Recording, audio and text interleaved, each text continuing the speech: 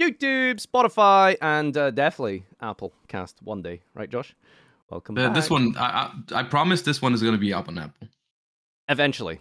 So, uh, big special episode today because we have the meta shifting, the game changing, the nightmare of phantoms booster box release uh, this week. And uh, yeah, we got a whole bunch of new archetypes, new decks shaking up the meta. And we're going to be going through basically all the archetypes, is how we've decided to Yeah. break this one down this week, haven't we? Also, as of today, uh, day of recording, also relevant for Master Duel players because the Snake Eye cards, which definitely are going to be mentioned at, at one point or another today, um, also releasing in Master Duel or already out. Had had the pleasure of playing uh, the new Master Duel format for the entire stream already, and um, yeah, relevant for for both formats now. Interestingly enough. Strangely enough, I find that uh, they're basically identical between TCG and uh, Master Duel. There's a couple of niche differences, you know. Yeah, you- we can just- we can mention the differences when we get to it because uh, the TCG version of the deck is even more powerful. But uh, Yeah. we'll get to that. Yep.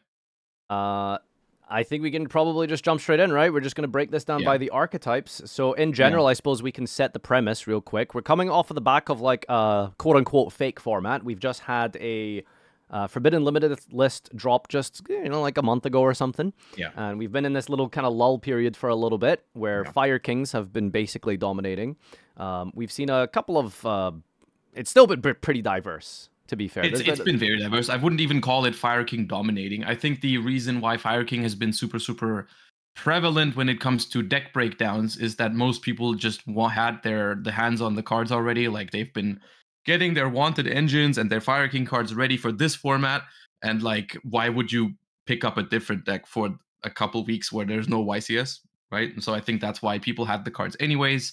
And that's why they decided to just play a lot of Fire King because we didn't even see Fire King do that well. Like a lot of people played it, but it didn't actually win that much. So um I, think it was more like in anticipation for this one. I was just really shocked and surprised to see that even before, um, was it Bologna? I think there was like like one or 2 Mhm. like pure Fire King tops. That was like really crazy. Yeah, the, Uh, the deck is the deck is quite cool even in the pure version before the Snake Eye cards because to be honest, the, the deck that we're gonna be seeing a lot more now is arguably more of a Snake Eye deck than a Fire King deck. You know, it's like it's like a Snake Eye deck with a small Fire King engine. It's gonna play a lot different from what you have in the in the pure Fire King deck right now, right? Um, but yeah, I think it's I think it's it's worth just starting with the with the Snake Eye cards when we look at different archetypes for Phantom Nightmare, simply because it is going to be the most relevant deck in the upcoming format, and it's also gonna like whenever we talk about different archetypes, we're gonna have to circle back to how does this deck perform against Snake Eye variations.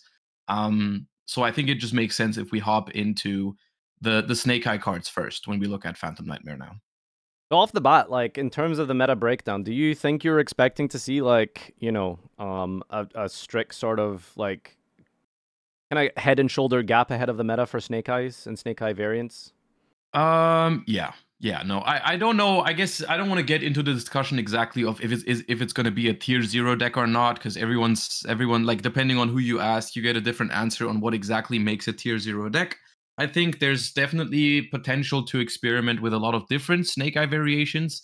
Um, but to be honest, after having taken a look at the cards in both TCG and Master Duel, I see very little reason from a competitive standpoint to play a deck that doesn't have those cards in it because they are um, very, very strong, very, very resilient to all sorts of interruptions. You know, they play great into boards, they play great into into certain hand traps that are being used, and they just create a lot of card advantage without being weak to anything anything in particular because their their interruptions are also going to be quite layered in their end board. It's not like you can just slap one dark ruler on the deck and and call it a day. So it's just um it's it's quite the dominant strategy, I think. Yeah, I mean, we are going to be focusing on the competitive aspect in the discussion of this, uh, Mhm. but obviously it can't be uh, understated just how unfortunate it is that for a lot of people they will just be priced out of this meta. Oh Um, yes, no, it- that's that's probably. Uh, I mean, we've touched on this this topic, I think, in the very first episode because it was a very. Um, I mean, it's it's always an ongoing debate in Yu-Gi-Oh, right? But uh, specifically at that time, bonfire release and all, and all that, you know, it's it's definitely going to be a thing, and we're going to touch on some alternatives because Phantom Nightmare does not only bring Snake Eyes to the table. There is some other stuff in there and obviously also decks that already exist before Phantom Nightmare, that while not the best deck in the format, they're not completely like out of the equation. Like the, the fire decks are going to be the best and the most popular, but I don't think it's completely impossible to to compete with them, which is also shown by current OCG uh, metagame breakdowns, where we constantly see other decks like Voiceless Voice um, perform as well, right? But yeah, we're gonna touch on that as well. But to just as a brief introduction to why Snake Eye is going to be so relevant after Phantom Nightmare, it's only actually it only really comes down to two cards, which is kind of uh, you know it's kind of incredible that two cards can change the entire fate of of the entire archetype. I mean, the Snake Eye cards that already are out there are already good cards. You know, like you look at Flamberge Dragon, you look at Snake Eye Ash, um, those kind of cards are already you, you look at them and you're like those are pretty good cards but what really tips the entire archetype over the edge is really i mean snake eyes poplar as it's called previously known as populous um, which is pretty much you couldn't have made a better card for snake eyes i want to say because it has so many different effects that are good for the deck um, you know, uh, first things first, it lets you special summon itself when it's added to the hand, except by drawing. So it is it's a premier search target for Snake Eye Ash. Um, when it's normal or special summon, it adds any Snake Eye spell trap from the deck to the hand, which is obviously, you know, you summon a Snake Eye Ash, add that thing to your hand, special summon it, get another plus one from it. And when it gets sent to the graveyard, it puts a fire monster from your graveyard into your spell and trap zone, which can also obviously be used very well in Snake Eye decks too, because they all send face up cards you control to the graveyard, you know, for for Snake Eye, o- Snake Eye Oak or Ash effect to summon from the deck, for um, original Sinful Spoils, for Diabell Star. So many different ways to make use off of that card in your spell and trap zone. Um, that Populous in itself basically just does everything the deck ever would ever want, right? Um, I think the uh, gap there is is yeah. massive, right? Because previously Snake Eyes was basically just a supplementary engine for anything that was, yeah. uh, you know, um, a yeah. fire deck, right? Uh, haha, engine, no mm-hmm. pun intended, but it really mean, made like yeah. Rescue Ace go from like this kind of okay deck that was good, but just this very sort of inconsistent kind of bricky deck. And specifically, specifically, the difference here is what you're referring to is just the Diabell Star cards, right? Because previously you would only play yeah, exactly, like Diabell Star Wanted and Original Sinful Spoils in any deck that wants to tutor a level one fire. You know, occasionally some of the Fire King decks have been playing like one Snake Eye Ash or maybe one Snake Eye Oak, but for the most part, it was just really about the tutoring power of Diabell Star, right? And that's that's the big change that's going to happen. Is previously you would have a deck with a very small Diabell Star engine. Now it's more like you have a full fleshed out Snake Eye deck, and your Fire King portion is actually the side hustle, you know? Like that's not the main thing that your deck is doing anymore. Like your main combo potential comes from the Snake Eye cards because with Populous or Poplar, they actually do enough and more than enough to to win the game on their own. It's just more like what do you pair up with them to make them even stronger, right? Um, but even pure Snake Eyes is going to be a viable strategy. Um, yeah, I've been really sure. enjoying it because, uh, you know, like you said, Master Duel has it now, and I decided to uh, do a little bit of playing with it this morning. And one of the real reasons I love decks like this when they're the best mm-hmm. decks mm-hmm. is um, I feel like a deck like Snake Eyes Pure has so much skill expression. There's a big difference yeah. between like an average and a really good Snake Eyes players. Yeah. Just practicing it um, earlier this morning, um, yeah. obviously being incredibly good at the game uh, that I am, like uh, it is it is it is genuinely fun to like work out different lines and stuff um, based on like what you're trying to play around. Like you know, uh, uh, uh, I would assume probably not a great Snake Eyes player will absolutely just like int like constantly into things like Nibiru. Mm-hmm um, but yeah. Nibiru, I've noticed, like doesn't actually do anything to the deck if you play the combo out correctly. Um, it really is a deck that slices through disruption, and I can definitely see better players like taking full use of just mm-hmm. the different pathways that you have at any one time. If you just open like something like Bellstar and Ash, right? Like uh, that can just kind of go anywhere, uh, depending on what you're trying to play around and or what you're trying to greed into. Mm-hmm. Yeah, I've been enjoying it a lot as well. Obviously, today was also my first time actually playing with the cards. You know, I'm not the type of person to, uh, you know, take decks months before they release and, and and test them myself. I've looked at them, of course. I've looked at the lines. I've looked at what they're capable of. But today was my first day of actually playing the deck, and I 100% noticed that you know it's not the easiest deck to immediately pick up. You know, I've been I've been mm-hmm. learning a lot throughout the stream, and I've been enjoying the deck a lot because especially in Master Duel right now, it's finally felt like um, I've been able to play a deck that I thoroughly like enjoy and is actually really good, as opposed to like you know I I know like Super Heavy Samurai is good, but I'm not enjoying that that much. Um, I think what uh, I really love about I, it, honestly, I, is that hmm? it feels very um, what's what's the way to describe it? I don't know if I'd say like new player friendly, but it does have like a very low ceiling and a very high ceiling. I think it's very good entry level. Like there is like a basic combo that you can learn. But if you if you get really good at the deck, like you can absolutely find like huge different uh, pathways and lines yeah. that help you play through this. Yeah. I, th- I think it's like quite relatively simple to get into. Um, mm-hmm. And I just I just love decks like that, honestly, because it, it does like offer a newer player or less experienced player like some ways to like you know, practice combo decks. You know, going back mm-hmm. to last week, is it a combo deck? Is it not? But you know, obviously, it clearly has a lot of different steps to it. Yeah. Um, so there are ba- very basic linear lines with just Ash or just Poplar, right? You can learn them. Uh, but you can further develop and advance on those depending on different tech cards you play in your extra deck. You know, if you want to end on like a Pit Knight, if you want to play around Nibiru. Um, I I just I can't I can't state enough like how much I've genuinely been enjoying it. Um, mm-hmm but it's just a again like for me personally i won't be playing it in real life um i just don't want to um and you know pick up three bonfire i i just yeah. don't want to do that um mm-hmm. but it really is like super super fun um and it yeah. just you know that that big uh gap between like a good snake eye player and a really good snake eye player is something we're definitely going to be seeing at future events yeah and i i want to say that because i've i've made comparisons today on stream between like how I really enjoy fire as like Snake Eyes over enjoying that not not enjoying something like a Mannadium or or um what's it called? Super Heavy Samurai. And some people in my chat were like how is it different? You know this deck is so strong that uh it's gonna it's basically gonna take over the game anyways. Like how is this healthy right? And I I want to preface this by saying I absolutely think that the Snake Eye cards are 100% better than anything else they've probably ever printed or anything that's currently legal, right? And so they are 100% Wait, ever printed. I mean, I, you, you, can name like cards that are banned and that are probably better, but like they are as an archetype, like it's an incredibly powerful archetype, uh, and definitely better than everything that's currently legal. And it's going to um, overtake the the format by storm, both formats, Master Duel and TCG.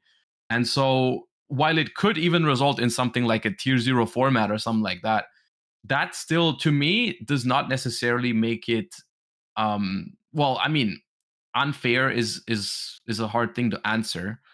But I think some something like that is only like unfair, quote unquote, if if both players are not operating at the same power level, right? Like yes, you're right. It forces you to also play a fire deck if you want to compete at the same power level because there is no other deck operating currently at the same power level, right? And so you can think of that what you will, but it doesn't necessarily make bad Yu-Gi-Oh only because it's being played at a higher power level, right? You can have good Yu-Gi-Oh at low power levels, you can have good Yu-Gi-Oh at high power levels. It just matters that both decks are operating at similar power is you know what I what I'm trying to get towards. Yeah, I think like uh Spyro being the best deck was like not great um, but something it like depends Snake on the deck, 100. percent Only because two decks are the same power doesn't mean it's healthy. Yeah, exactly. Um, so I don't think anyone was enjoying certain mirror matches, than... but other mirror matches are going to be great, right? Like tier mirror matches, notoriously, like you know, big, huge exactly. divide between like tier and the rest of the meta. Um, yeah. But anyone who was playing tier was having a great time, and I think it's probably going to be this, in the same situation, right? I think Snake Eyes is going to be pretty. Uh, you, are gonna have to be pretty unlucky to like lose to non Snake Eye decks. Um, unless you're um. We're gonna have some... to see exactly how big the gap is, right? Like, because I don't think anyone is questioning whether it's going to be the best or not. The question that has to be answered is how big is the gap? Like, how how how how forced are you really to play that deck specifically? Um, it's something that we can only we can only wait and see because the deck does have weaknesses. You know, like it, it plays through one hand trap incredibly well, but as soon as your opponent starts pairing hand traps, um, it's actually not that hard to make Snake Eyes pass the turn. So you know, in that regard, there's definitely decks that have a lot of room for non-engine that can that can keep competing in in the upcoming format. Um, but one other card that I quickly wanted to mention when it comes to, you know, just like uh, we've talked about Poplar a decent amount, I wanted to talk about Promethean Princess, which is a card that obviously is out for a while now in um, Master Duel already, and is now also out in Phantom Nightmare. And uh, alongside Popular, uh, Poplar, those two are both ultra rares actually, which you know even though they are expensive, is probably a pleasant surprise to most people because they were never going to be lower than ultra. It was either ultra or secret, so we kind of high rolled on both of these. Um, Super popular. Yeah. Imagine, imagine we lived in that world. Yeah, we do not. Well, uh, Promethean Princess, very simply put, is an absolutely absurd and amazing card. Link 3 Fire Monster, generic, only takes effect monsters, revives a fire monster once per turn without even negating it. And when it's in the graveyard uh, and your opponent special summons a monster, you can pop one of your monsters, a fire monster you control, and one of their monsters, and uh, destroy both, bring it back, and it doesn't even get banished when it leaves the field. So it's both an extender, basically lets you link climb, and reuse effects from the graveyard, as well as a disruption on the opponent's turn, which is one of the most powerful qualities a card from the extra deck can probably ever have. If it's if it's both an extender that's good on good on your first turn and provides a disruption on your opponent's turn that it doesn't even have to stay on the field for. And it provides that advantage on every turn of the game because it doesn't get banished. So the, the card design on that card is honestly completely unreal. The only downside to it is that it locks you into fires, but only while it's on the board. And since we have a good Link 4 fire monster in Amblo Whale um, that actually has some synergy with Promethean Princess, like that part doesn't even matter that much. Um, so yeah, Promethean Princess is just an absolutely absurd card that obviously would also benefit some other fire decks. You know, people are like, hey, have you tried Salamangreat with this card? Have you tried Infernoid with this card, so on and so forth. And like, yeah, technically it makes those decks better as well. But I mean, obviously, um, it benefits the best fire deck the most, which is going to be Snake Eyes. Yeah, I think uh, the subject of the power of extra deck monsters is obviously a topic in and of itself, but um, yeah one of the uh, quote unquote good things, I suppose, is that it is kind of restrictive to fire decks. But the problem is, like, Amblo Whale kind of gives it that sort of genericness, which yeah. we'll see how that uh, really develops going forward if people really take advantage of this being some sort of like staple kind of disruption. Um, it's a I mean, I'm, I'm, gonna be honest with you. In any deck that has extra deck space, I, I don't I don't think it's that un- unrealistic that people are gonna just play like uh, I don't know, Hiita, Promethean Princess, and Amblo Whale, because as soon as you have an Ash or your opponent has an Ash, like if you if you have a fire monster somewhere in your deck, which I mean, with Ash being a fire monster, um, the hand trap Ash, I need to clarify because Snake Eyes Ash is also the same name, which is probably the worst thing they could have ever done to the community because now we never know what we're talking about.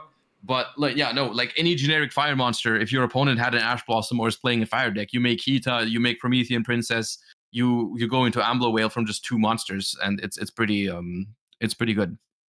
One thing I wanted to talk about, which I think is also really, really cool about this deck, is I love when decks like aren't auto build themselves. And Snake Eyes has mm-hmm. so much room for how you yeah. want to build it, right? Like it's it's quite a small engine, and you can just choose to load in a bunch of hand traps. You can play a different archetype alongside it. Mm-hmm. You can play mm-hmm. board breakers.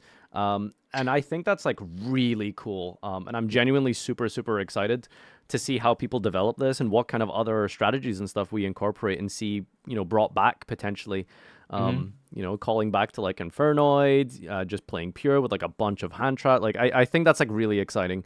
Um, on the so- one hand, I agree with that.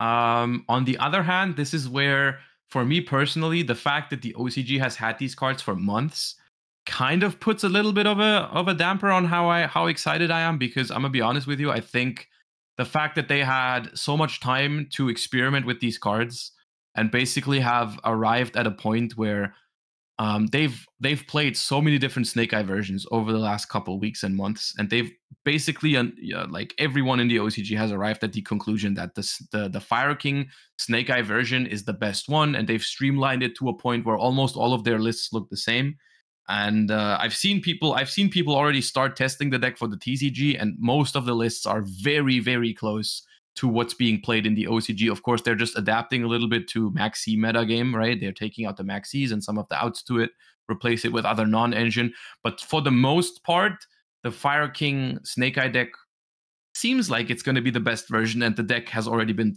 almost fully figured out by the OCG. At the same time, the format is different so maybe that that way of thinking about it is also a little bit dangerous because you might be able to improve on it still because the format's not the same right? Maxi not existing makes it so that more combo heavy versions that are a little bit more all in could be better than they are in the ocg right? The fire king version is kind of like um, the Fire King engine, I should rather say, is is decent into Maxi, right? So which is a bonus in the OCG that we don't really need in the TCG. So maybe you can maybe you can still experiment and figure something out. And I mean, most of the time, uh, when when decks come over from the OCG, they they they see some amount of change in the TCG, right? It's it's usually not the same. Like just remember, I don't know, the last time I remember this being a big big difference between OCG and TCG is when Spright completely dominated the OCG and then Tearlament basically was the more prevalent deck in the in the in the TCG, um, which was very interesting at the time. I think the uh, discussion and topic of the merging of the formats and the staggered releases is something that's a kind of oh, like. Oh yeah, big... no, I didn't want to. I didn't want to open that entire thing up yeah. for like. I, I don't want to. Yeah. Um, you know, that's obviously a huge pain point for a lot of us in the TCG because you know yeah. we do lose a lot of that. You know, fun factor, mm-hmm. which is deck building, right? Like a lot of people mm-hmm. sometimes just play Yu-Gi-Oh because they just enjoy the deck building process. They might not necessarily yeah. actually enjoy the dueling part that much. And figuring out and coming up with like the solving of the puzzle that is trying to streamline a deck like Snake Eyes, especially one that's so open-ended. Um, yep. is a huge uh, pull factor for a lot of players and really fun. So, you know, as you mentioned, it is um, starting to be kind of solved. Uh, based on the fact of its presence in the OCG. But you know, we've seen a lot of surprises over the years, yeah. right? I think uh, there's been enough. Uh, branded comes to mind, for example, right? They were played pretty differently between the regions. Yeah. Um, we've we've seen a, a lot of de- of decks played, um, completely different from region to region. Uh, Maxi obviously being a major factor, even if we ignore the card pool and the set releases, because I think mm-hmm. was really, or uh, rather, I think Spright was really not as dominant in TCG as it was in OCG because I think they gave us the Ishizu cards really quick, didn't they? Uh, I think it was also a matter of Garura not being in the OCG, but you can get into the nitty gritty. I think they had like the Tearlament was already dominant before Ishizu, right? The Danger tier deck was was very relevant in in the TCG right off the bat, which wasn't something that they were doing in the OCG uh, mainly because I, I don't think they like Dangerous in a maxi format that much, and I would agree with that, right? That was so mm-hmm. that was a tool that they didn't have. They didn't have the Garura available to just go like you know make make Beatrice and all that kind of stuff that people were doing in the TCG. So um, there is a couple of key differences that can make a huge difference. So um, yeah, no, I'm excited regardless. Like, of course, people are going to start with that quote unquote what they what appears to be a solved version of the deck, Fire King Snake Eye. But I think there is a lot of potential with these cards to maybe experiment and find something that is better. And you could get rewarded, you know, if everyone's playing the standard deck and you find something that's better, you know, yeah, on the on the flip side, you know, conversely, the fact that it might be so streamlined and you kind of will be able to see what everyone's deck list looks like, then exactly. that might potentially give you more time and opportunity to exploit that um, and build exactly. around it. Yeah. So that kind of brings us to, I think, yeah. maybe like the final part of this. Let's talk about some yeah. of the counters and some of the ways that people can try and beat Snake Eyes. Is there any particular archetypes you can imagine seeing having good matchups, or is there any sort of staple cards that are going to be good against Snake Eye? I think mm. naturally Shifter has to be probably immediately Shifter mentioned. Shifter decks. Uh, Shifter is one of the few cards that can beat the Snake Eye deck on its own. Uh, that is that is true. There's not many cards that like there's like even cards like Droll Lockbird is being hyped up a lot right now. I feel like everyone's talking about oh Droll Lockbird is going to be in every deck, and I I was under the impression uh, that that was going to be the case as well, right? Like Droll and Lockbird, uh, like I've looked at the combo and it seems like it, it, searches a lot during the first turn. So naturally, I thought, okay, Droll is going to be is going to be pretty strong. But then I looked at the ways that Snake Eyes have to to play under Droll, and they still end on the full. Um, they still end on the full end board. The not not the full full end board, but they still get to do the whole Promethean Princess um Ambler whale setup with a IP Masquerena in the graveyard and a Flamberge Dragon, right? That's the that's the whole um, gimmick of the deck. I guess just to to round up the the Snake Eye talk in general, just very briefly, because when we talk about counters, we have to, to talk about what the deck actually tries to achieve. Um, obviously, you can do it in different flavors, whether you're playing pure Snake Eye with with Jet Synchron to make like Savage or Baron, or you're playing Fire Kings in there. But as a main thing, the the deck tries to end on Ambler Whale with a Promethean Princess in the graveyard, which Promethean Princess gives you a pop. Uh, and you try to keep a Flamberge Dragon on the field, which puts a monster from your own graveyard into your spell and trap zone. So normally you're going to put an IP Masquerena there or a Formula Synchron, depending on whether you're playing the Synchro version or the Link version. And then on the opponent's turn, the Flamberge Dragon can, as a quick effect, summon out the monster from your continue from your spell and trap zone, and then obviously with the IP or the formula, you can quick synchro or quick link into you know whichever. Depends on the format you're playing. In master duel you can't make sp but you can still make Apollousa or unicorn.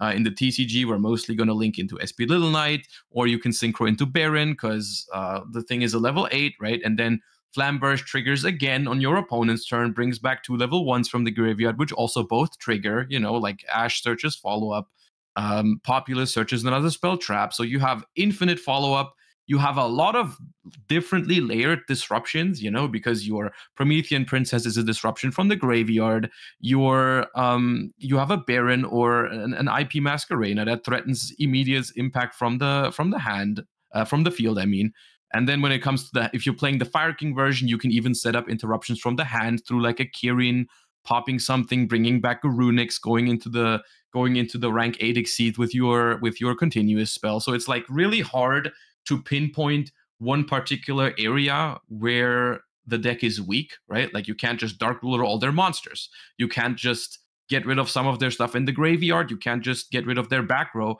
They have interruptions basically coming from everywhere. And you pair that with the fact that they have phenomenal follow up, right?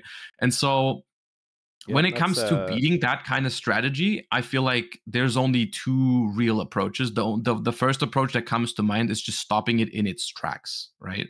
like uh, a, like hand before traps, we uh, move on to these counters let's just wrap up there i think you did a really good uh, summary there okay. but just to just to make sure that um, there was one point i thought was really important Mm-hmm. Um, and it's one of the mechanics that's becoming increasingly popular. Uh, we saw Centurion take advantage a lot of it, but mm-hmm. so many, so much of the Snake Eye cards just place from deck or special directly from the deck, uh, mm-hmm. uh, which is why Droll and Lockbird um, yeah. is very kind of weak uh, against the deck. I feel like because um, yeah. you got your Sinful Spoils being placed by the Witch directly from the deck, um, yeah. the Field Spell placing Flamberge directly from the deck. Um, yeah. So so much placing. No, I, I, think that's one hundred percent. That's one hundred percent what they want to do with those kind of designs. They are aware of the relevance of Droll and Lockbird, and they are designing new archetypes, particularly to be strong against it. And while the deck does search a couple times, you know, it just it searches exactly the right amount uh, to the point where Droll and Lockbird feels okay against it, but not completely stopping it. Yeah, which is going to be very uh, fun to play because you're not going to be super frustrated because even when you play like a, a almost potentially a tier zero deck, um, mm-hmm. it, it isn't really fun for either player because they have to stare down a tier zero deck or they yeah. get hit with some absolutely ridiculous floodgate that just completely ends the game. It's um, funny. It's funny because playing uh, normally when you when you get trolled, there's two outcomes. You either play a deck that doesn't care about it, or you play a deck that completely cries, right? Yeah. Playing Snake Eyes is like the first time, or like the first time in a long time at least, where I feel like Droll and Lockbird is actually just an okay hand trap. Like I don't, it's not bad against me. It does something, right? Yeah. But it doesn't completely win or lose the game, right? Which honestly feels okay. It's refreshing to get hit by Droll Lockbird and be like, ah, that's fair, you know, that's okay. It, kind of, it feels like hitting, getting hit with an effect veiler in like a normal Yu-Gi-Oh deck my limited amount of testing, I don't feel like it's been doing enough. And I think with a, if you put a card yeah. like Droll and Lockbird in your deck, you're kind of telling to yourself, okay, I want like a sort of heavyweight like turn oh, yeah. ender. No, yeah.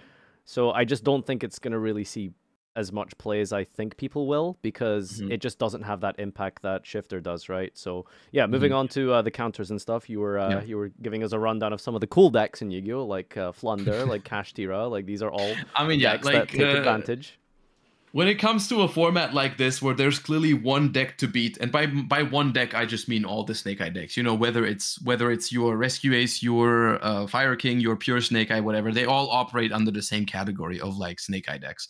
Um there's two options. You can either try to hand hand trap them to death which um like previously discussed can work but not really with one singular hand trap. Um except for shifter. Shifter can do it um, which not every deck can play, but I think that is um, that is relevant for all the decks that are shifter decks potentially. You know, your Vanquish Souls, your Flu, your Kashtira, your Exo Sister, what have you. You know, those kind of decks.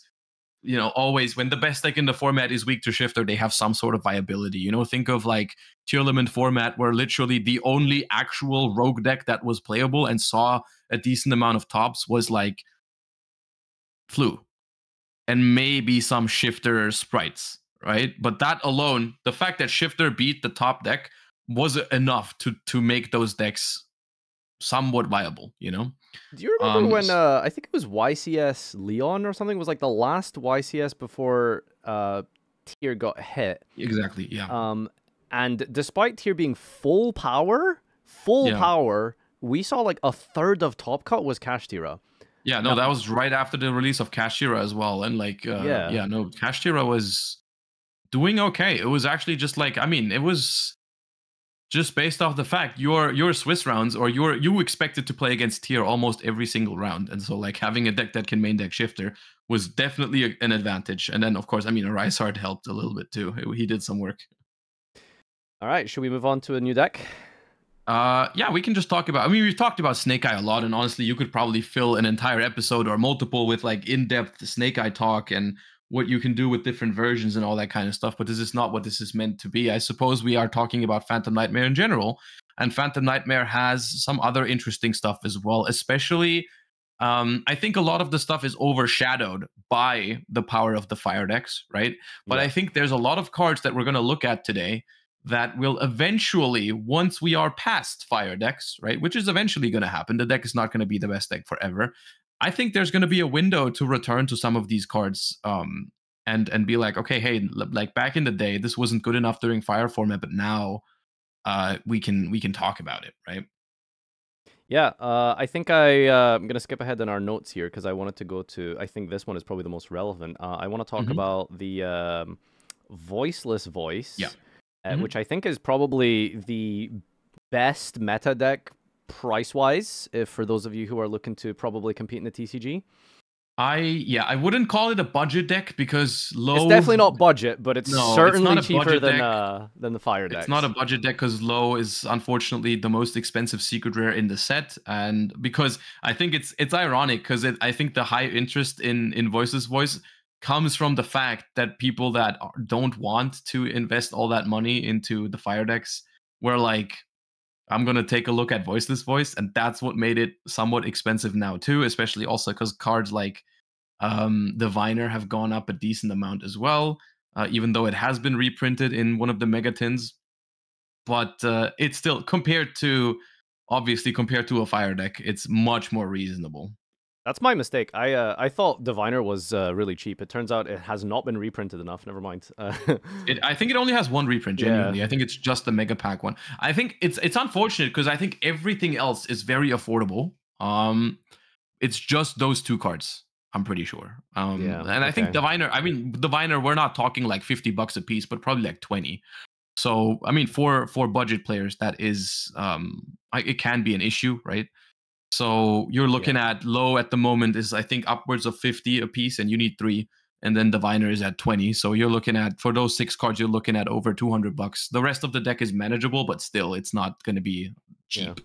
Still like a couple of three of ultras and stuff that are in Phantom Nightmare that Yeah, gonna have to no, run. yeah, you're still Um, gonna have, yeah, you, you're gonna have like it's 300 upwards plus some staples, whatever. Like it's it's not it's not budget for sure, but it's a lot cheaper. Like uh, that's three wanteds pretty much. So- It's a uh, ritual deck, uh, a deck, uh, a, a mechanic rather that um, naturally, just by the way of power creep and the age we live in, uh, ritual summoning has to be absolutely completely absurd. And I think this might Yeah. be um, just taking that an entire new step forward because you just straight up just like I thought megaliths were breaking the game by ritual summoning out of the deck, but no, the, you, you just straight up just don't ritual summon. You just special summon out the deck with some of these technically cards. yeah right? no Like, technically it's, it feels more like these these ritual monsters could have any color like because the Yeah. cards just say special summon them by doing this or that you know yeah, like, so it, it it's not really relevant in that way. But um, yeah. Do you want to give us a little rundown of like what is the kind of like the basic gameplay loop of Voiceless Voice? Like, what is what does the deck do? It's it's very straightforward actually it's it's it's got a very linear set of lines where it just tries to end on like uh, it's got Lo, which is the level one fairy, which basically gets the entire deck going by placing the continuous spell from your deck into the spell and trap zone. The continuous spell is really strong because it allows you to add uh, a voiceless voice uh, from the deck to the hand once per turn. And while you control Lo and another ritual monster, it makes your stuff untargetable, which is pretty huge. Um, and you have this humongous uh, Skull Guardian retrain, which just becomes a 4100 uh, beater, which is an Omni negate, um, once per turn as well, not like Baronne, once while it's on the field. It's just a once per turn Omni negate. So Uh, and then it does uh, a decent amount of. It can also. I'm pretty sure it can ritual summon. Uh, like it can actually summon Sauravis, the old school Sauravis, uh, which is uh, also not even that bad if you summon it onto the field because it can. Uh, I think it's like a solemn warning on legs, right? Because it returns. I think it returns itself to the hand to stop a special summon. And so it's got a lot of very linear lines that end on this sort of end board um, of Lo Skull Guardian, the continuous spell, and if you have an extra card to spare, like because you hard drew the spell card already, you can also end on the continuous trap card.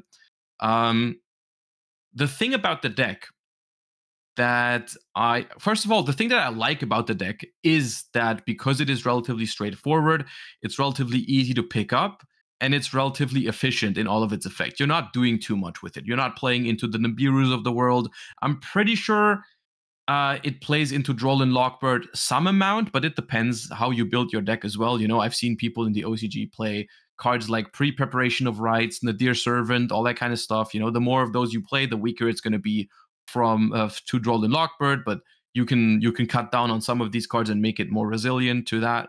But um, in general, it's very efficient.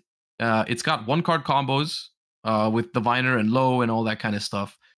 The only thing that I think is actually hurting it a little bit uh, is that it the main reason I think why it's so good in the OCG, and to be clear, it's the second best deck in the OCG right now, is the fact that it's it probably cares about Maxi the least out of any deck in the game in over there right now, unless you're playing a stun deck. Because you get to yeah. that end board position in one, maybe two special summons most of the time, sometimes three, but usually it's like you know don't even have to do that many under under Maxi, and you still get to end on like Omni Negate, Trap card. You play a lot of non-engine in the deck, and that factor of max c not existing might make it just a little bit too fair.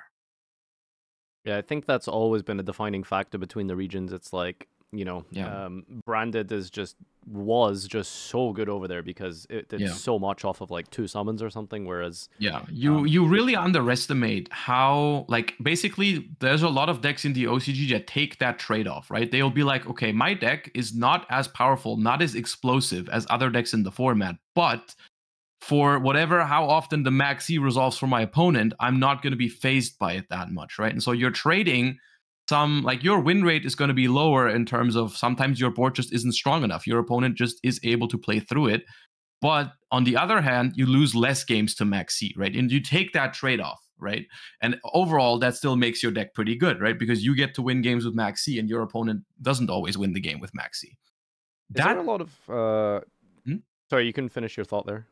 No, I was just going to say that factor alone, I think, is something that can't be understated with Maxi not being in the TCG because sometimes it just ends yeah. up being those decks are just too fair. Yeah, exactly. Um, but yeah, one of the cool things as well was like being able to just ha- like have an explosive crazy deck, but that also has plays under Maxi, right? Like I mean, yeah, that's ideal, right? That's yeah. the that's the ideal world, yeah.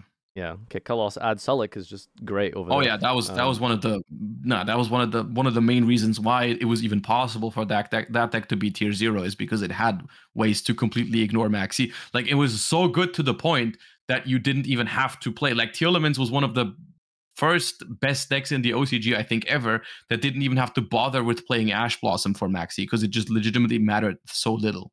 Yeah, just play 40 engine or whatever. Um, I yeah. was gonna ask, uh, with the voiceless voice, um, do you know if I don't know how much you've done in testing wise? Probably not as mm-hmm. much. Um, but do you know if there's like any like super relevant like clutch points and and uh, and things like that? Because I, I think that's maybe one of like the most important factors when developing a meta of like a new deck, right? If like if you spot mm-hmm. specifically like you know snake eyes loses to something on okay. this point right like that becomes yeah. way, way more manageable but unlike uh unlike snake eyes which doesn't really have like a huge um pain point uh i i don't mm. know if uh, voiceless voice has that uh i would say preventing i mean if you see diviner i would i would say you try to negate that because the way the, the way diviner even is a starter card for the deck is because they actually play this level 9 fairy. I think it's called trias hierarchia right? Um, just so they can immediately tribute the diviner as opposed to other ritual decks they don't even send like herald to search a ritual monster. They actually send that level 9 uh, fairy to tribute the diviner to tutor the Lo from the deck. That's how important the Lo is. So if you ever catch them normal summoning a diviner, you immediately know okay they they are trying to get to Lo. Uh, and if you can imperm or veiler that diviner, there's a there they need to have a pretty good hand to be to recover from that. The same is true about the continuous spell. The continuous spell is pretty important for them. If you ever have um like a card that's very popular in the OCG, especially in side decks right now, is is Cosmic Cyclone, right? If because it's good against the Fire King continuous spell and traps, you can hit the the thing that Diabellstar sets, but also very importantly, hitting the hitting the the voiceless voice continuous spell with it is is pretty damn huge. Um uh, which is also true for something like uh, if you want to cite something specifically for this deck, I think something like Ghost Ogre wouldn't be outrageous to just hit that continuous spell. Interesting. Um, yeah. So uh, the uh, the deck itself, I think, is going to be a decent contender. Um, I feel like personally in the TCG, uh, we could see some more explosive variants of Snake Eye appear, and I don't know if yeah. um, Voiceless Voice is really going to have like the oomph behind it to really it's... deal with some of the Snake Eye top decks. It's very similar to Centurion in the way that it has a solid one card combo line. It has also some solid two card combo lines, but it's very hard for the deck to go higher in terms of its ceiling, right? Because theoretically, you could look at it and be like, okay, in the TCG, you don't have to worry about maxi. Can I make this deck more, do more, right? And I think Voiceless Voice is very limited in in that regard. Like it it's ha- it has its solid and efficient lines, but it's hard to make it do more than that. All right. Anything else you want to mention about Voiceless Voice?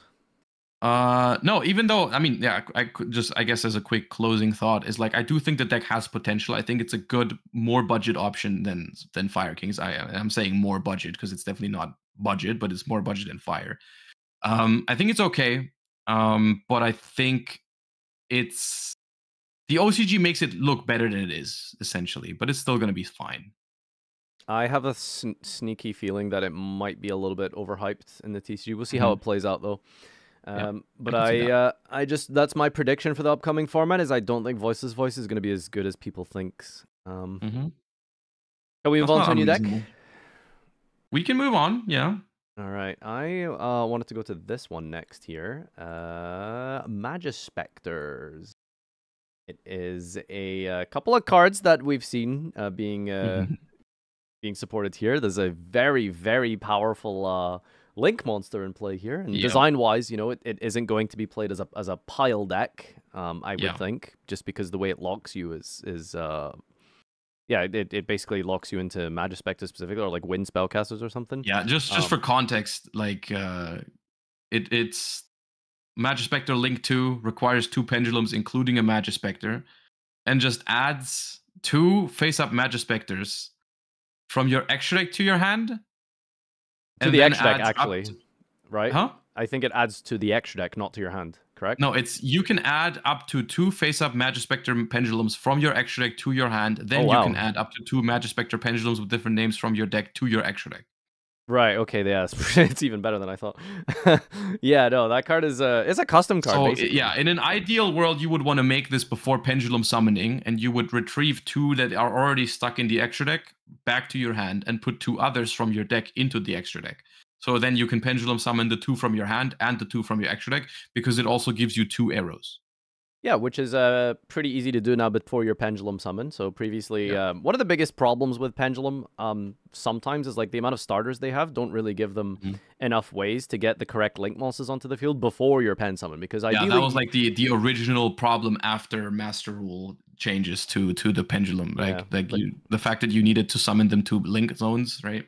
Yeah, you want to be you want to be pen summoning into these zones before. Uh, well, after yeah. you've established those link monsters, um, and mm-hmm. uh, you know the uh, new card, uh, the porcupine. I can't remember its exact name.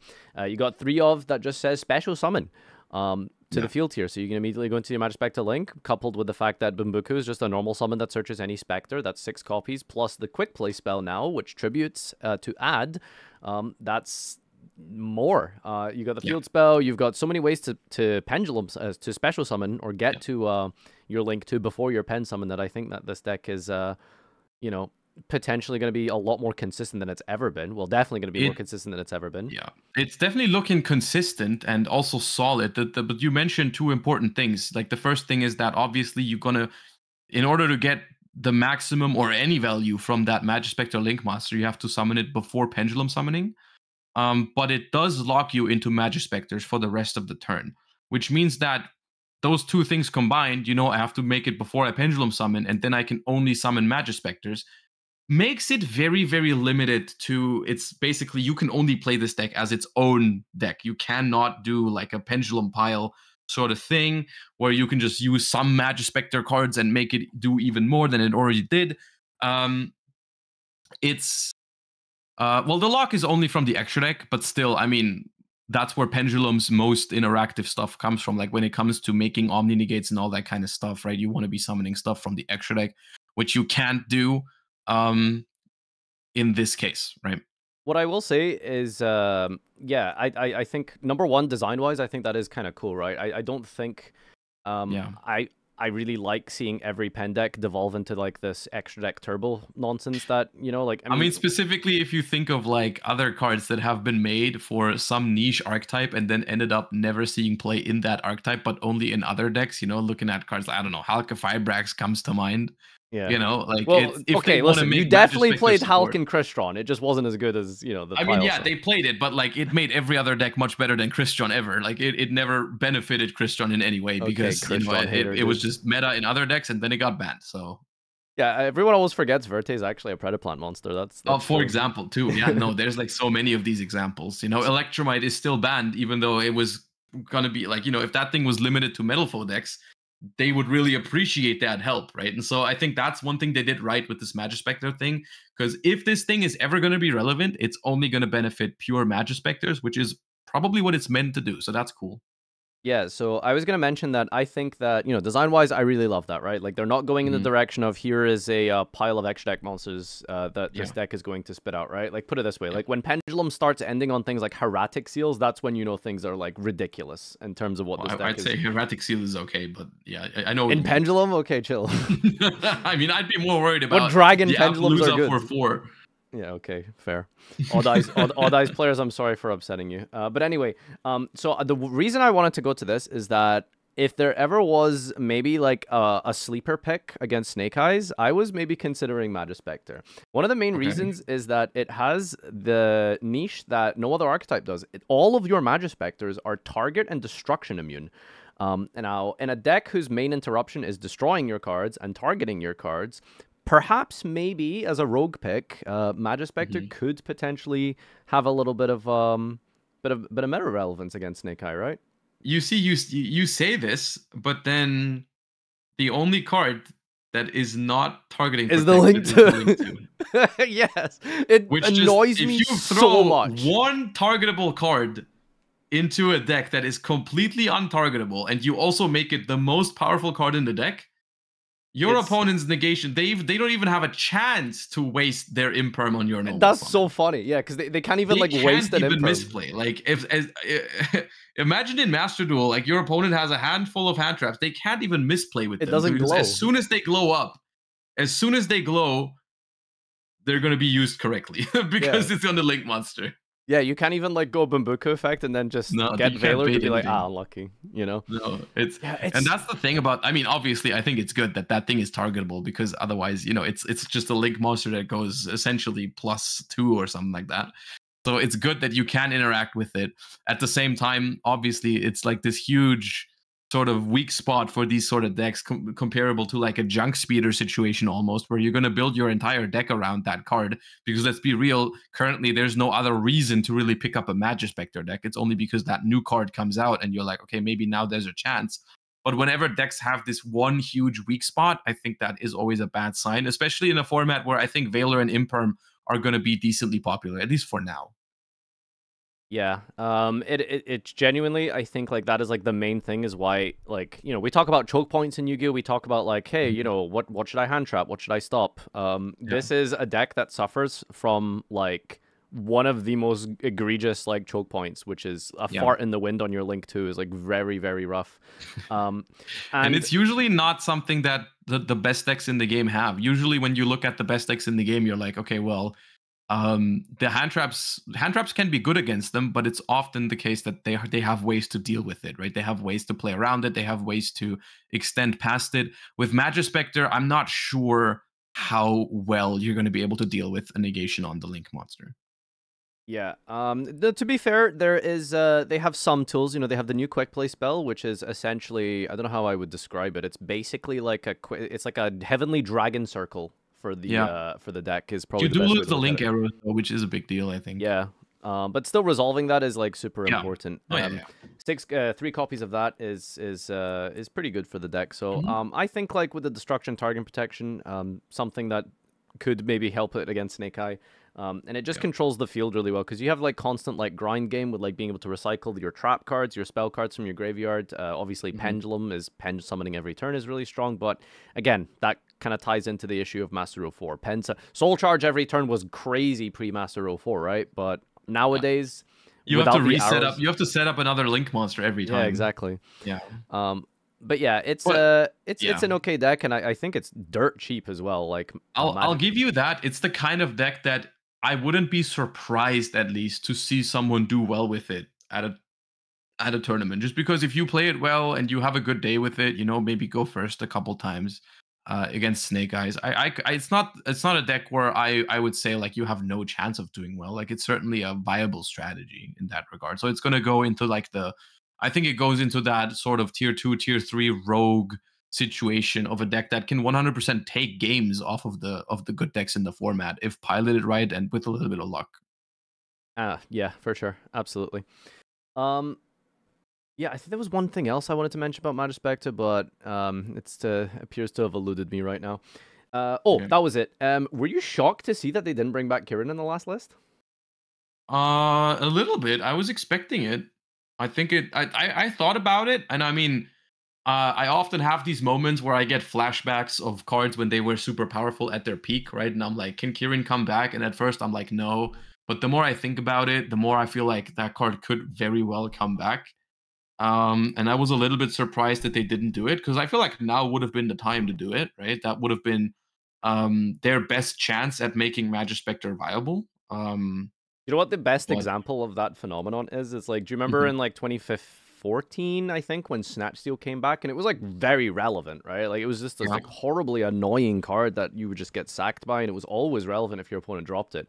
Um, but then today, in 2024, oh, yeah. Oh, yeah, when Snatch Steal came back, like you know, I my instant I mean, reaction was holy crap, but it, it's just it's useless. No, it's another so uh, the, the perfect example too is like freaking spellbooks and dragon rulers. Because if you ask anyone who played in 2013 like do you think those cards are are like too powerful and they would all say yeah never bring these back ban them forever they can never come back and now both of them are back uh, like judgment and dragon they do nothing yeah so uh, I think I think Kirin honestly would be would be fine. I think I think it could it could yeah, come back. I guess it, I it's a matter of when does Konami actually you know believe that it, it can come back or should come back. Yeah, I think like uh, it's it's it's kind of annoying, right? Because like the deck really needs it, right? It doesn't have like a lot of It crazy good interruption. It does. It, it even has that tutor on one of the. I think it's the Exceed that It's like special summons. like Huh?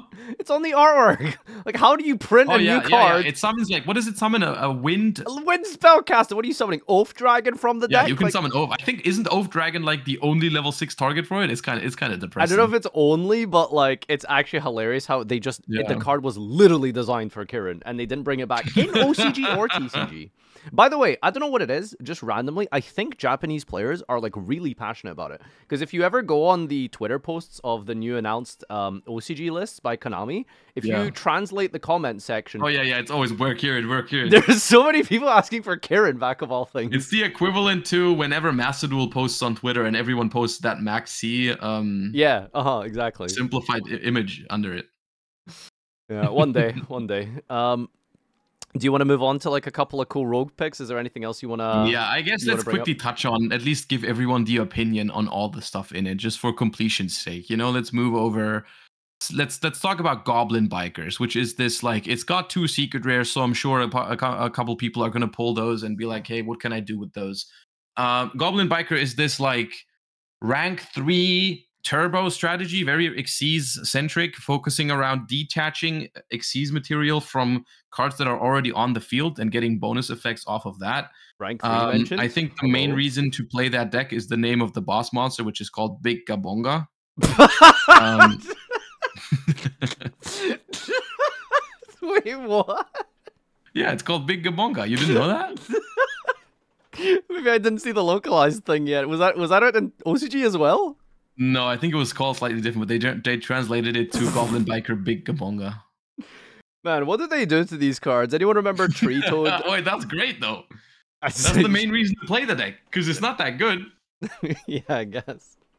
Speaking of which, yeah, the deck is okay. It has cohesive strategy. You know, it's playable. However, I've looked at it and I just I I fail to see what it really does better than other decks in the format. The end boards it makes don't seem super powerful. The rank three Xyz pool uh, I mean, you're probably gonna have a different opinion on that because you're gonna say like Dante Dante Mill three is insane. The rank three Xyz pull link... is crazy. Tell me one thing the rank three pull yeah, okay, like ha- like it can out any situation. Two BAs like actually just breaks any board. Anyway. Yeah, back to 2024. Here we are. Uh, so, the deck uh, is the deck is fine. The deck is playable. I think it's rogue though. Um, I wonder Which, if it's better as pure, or do you think it's worth mixing in punks and gold pride? I think a lot of people have been trying to. Uh... I I would have a hard time believing that the deck pure is even powerful enough, so I wouldn't be opposed to the idea of trying it. However, I haven't done that myself, so I can't really give you a hot take on you know punk uh, goblin bikers is is good or uh, gold pride punk goblin bikers or whatever. I haven't experimented with those, but I think um, I think if you're going to make that deck good, it's probably going to have to pair with something to be more powerful. Because from what I've seen, it just doesn't end on enough. Correct me if I'm wrong, enough. but I think there's like a bunch of like new like generic Xyz armored cards or like fish or water cards. Oh yeah, yeah, yeah. Right? Like... Those are I think Age of Overlord or the set before that. There's like this whole line of the rank. I think it's a rank three, a rank four, and a rank five right. Uh that aren't too bad. The Xyz armor package. Yeah yeah and i think um from what i understand there's like another wave of support of those things or something that apparently make that like a very very strong engine. Um so okay. i'm wondering if uh maybe uh goblin mode will be a deck in the future potentially. Yeah like rank three is probably compared to some of the other levels that you could have access to in your deck rank three is definitely on the weaker end. You know, you look at like rank twos and you got all the Spright possibilities. You look at rank fours, which basically have everything. Uh, like I'm know, not being six. biased here, but like, what the hell? like, no, what do you make? Like, you have two level threes on the board turn one. Like, you want to make the most impactful thing ever. what do you got, do? You've got Cherubini for like tutoring generic. Okay, that's not an Xyz. Okay, but it's the three axis, you know. I mean, yeah, but like then you have to play a deck spe- like specifically around like having good targets for Cherubini, which like what are you gonna send? Like a freaking Phantom Knight? Yeah, I mean, you got the you got disruption with Cicada King. Uh, you've got Leviair yeah. with extenders. Uh, you see, just Cicada did you say cap? King, dude. I, okay, so I didn't say that there are no rank threes in the game. What Listen, I, said I did mention was the pool is relatively weak, and your argument was they exist. Cicada King. Moving on to the next archetype. Moving on, what would you like to uh, go to next? Let's talk about Ashened. All right, Ashened. This is um, a deck which you read that, and I will say, uh, I was um, I was very lucky with my pulls. I got a bunch of uh, the Ultra Ashens. Um, what I will say is and I feel like I hate to reiterate this this same point because I feel like it happens yep. every single time we get a oh, world. Oh yeah, I know what you're gonna say, and you're right. Yeah. Bro, trust me, this deck is one wave away from being insane. like Copium, Copium, just one more wave Wave two is gonna be crazy. Like genuinely, like uh, you know, it's it feels like it's got the tools available. So for those who do, who don't understand what Ashen actually is, I'm sure there was a lot of hype around this. People were very excited to see what does this actually do. Uh, it's an yeah. archetype that focuses around uh, the, I can't remember the name of the field spell, but the Ashen City or something like that. Um, Obsidim, yeah. So you have this like big uh, boss monster called Veidos uh, which kind of like is an anti-field spell monster, which uh, you know yeah. lends itself. I have a to... couple things to say about Veidos in a second. Yeah, yeah, uh, I think I know where you're going with it. But generally, uh, it's a pyro deck. It's a dark pyro deck, so you know, you bonfire is a, a, staple in this one as well. Um, although the dark portion of the deck is maybe actually worse um, for it. Um, But yeah, they've got like a good like starting like set, right? Like whenever you look at an archetype, you want to see extenders, you want to see guys that special themselves, you want to see guys that just like add cards for free, um, and it does do it does do a lot of that. Uh, you've got uh, a decent amount of uh, consistency within the few limited, I think like four yep. cards exist, four or five cards. There's not a lot of them. Um, seven. I, it's always seven. Oh, is it got that many? It's always uh, TCG archetypes these these these days is always first wave seven cards, second wave seven cards. And I know why you, you you're surprised it's seven, and that's one of the the qualities of Ashen that I want to mention. Yeah, because half of them uh, are bad, I guess. No, no, no. Actually, it's the opposite. That that's that's what usually happens. Okay. For some reason when they make when they reveal the first seven you look at some of them and you're like okay that card's solid for the archetype. And then you look at two or three or four of the first wave and they're all like you can't even think of a universe where you're playing that card right? And ashen the one thing i want to mention the, the one copium injection that i'm going to give everyone is that in those seven cards all of them at least have cohesive like things that they do for the strategy. And if they ever become good i think you would play you would happily play all seven of these cards, even the one trap card that you can get for free off of the Veidos, right? Um, the deck is, we don't have to sugarcoat it, as of now, is not playable and 100% relies on a good second wave to make it playable, but it has better, um, let's say, what's the word? Better um, chances because of the, the the overall quality of those seven cards is is all right or good rather and with a solid second wave, I could see it seeing play, but the same at the same time, that's 100% still a gamba because if the second wave just isn't good, then it's all not worth that much, right? Um, Which is really bizarre because surprised. Hmm?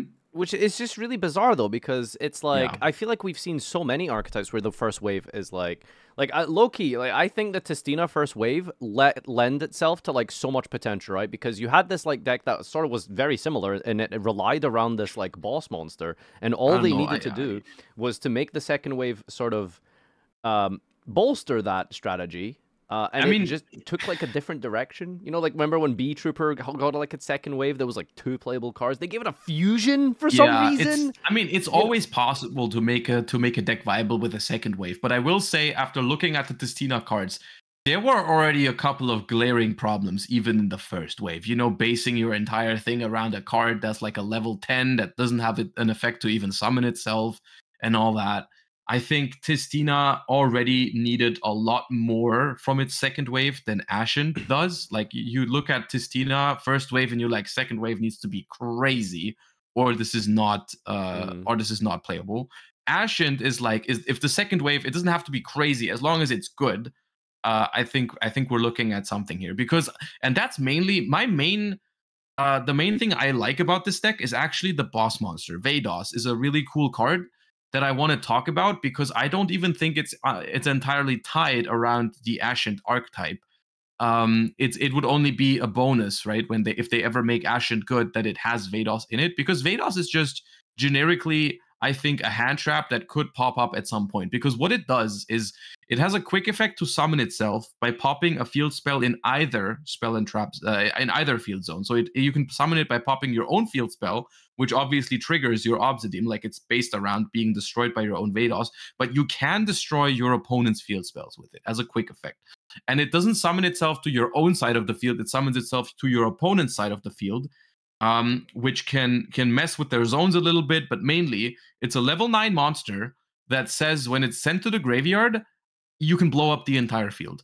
So it's very awkward for your opponent because you kind of hand them that kind of time bomb, right? Ticking time bomb that if they if they don't get rid of it, you can just run over it because it's got 1500 defense and and blow up the entire board and uh, it's really hard to get rid of a level 9 without sending it to your graveyard because the only way you can do that is basically by overlaying and there's not many decks that play rank 9s so um, on top of just being a one-on-one interaction on a field spell you know your opponent activates Rhino, your opponent activates the Mannadium field spell like Calarium, your opponent activates the Purrely field spell, your opponent act whichever, you know, like your opponent starts with mo- most decks these days have field spells. So you trade with that field spell, one for one and you get that you put the time bomb on their board right and technically you could also get the trap card for free it also does that um, that's another question if you want to play the trap card as quote unquote a brick for for the Veidos you don't have to but you could um, and then it would become even better.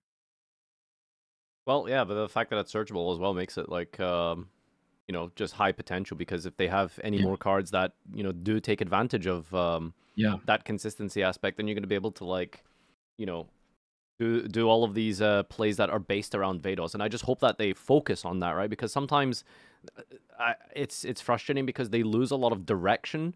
Oh with, yeah, oh, no, uh, 100%. with yeah. what the win con it's like the players look at a archetype and they find a win con and they see very clearly like, okay this is the Yeah. gameplay loop this is what this deck is trying to do and then they somehow end up designing cards that don't facilitate that at all Yeah. um, yeah, it's like with how with Libromancers, it was already established after the first wave, basically that okay, the best part about these cards is that they summon themselves from hand, and the best ritual monster is by far Doombroker, right? Like, and we already have a good trap for Doombroker. We don't need more. And then what they make is like they make okay, they make one more guy that summons itself from hand, but other than that, they make like five different ritual monsters. They all suck, and they give you three or four different trap cards, which you don't need because you already have one that's good enough, right? And all we needed was more stuff that leans into what the deck uh, is is missing rather than give it more of what it already has. Like give it wor- more worse trap cards and more worse ritual monsters right? Very frustrating.